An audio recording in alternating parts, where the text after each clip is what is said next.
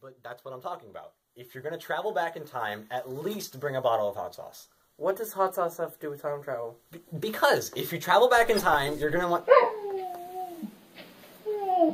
That's a dog. Can you let the dog out?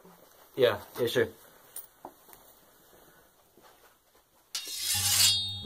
What are you doing?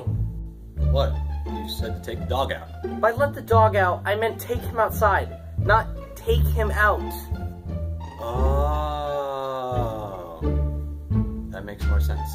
How did you even get those two confused? Oh, you see, I have this really rare condition where I take everything that's said to me really literally. There's no way that's a real thing. Oh, it is. It affects like one, two, three, like nine out of ten thousand people worldwide. Sounds real rough. Oh, it is. Remember just last week when you tried to do a live stream? Hey, I'm about to start the live stream. You should get lost. Just for a little while.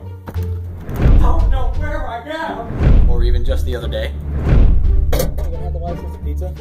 Yeah, sure. Make some up.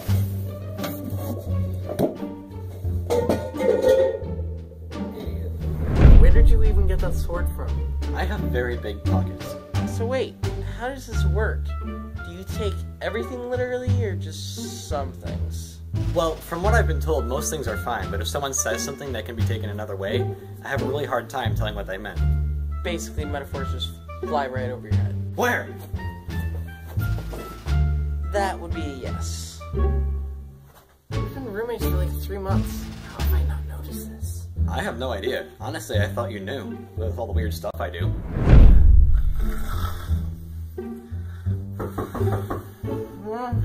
Come in. Hi, is this 3B? Yeah? I, I think I'm your new roommate. Oh, what's up? Oh, you know the usual. The sky, gas prices, and the landlord's blood pressure. Okay, while you're over there, mind passing me that water? Oh yeah, sure thing. I meant in a cup. By the way, what time is it? It's 1246. Why? Oh, didn't I tell you? I'm the lead the school musical. Break a leg. Sure thing.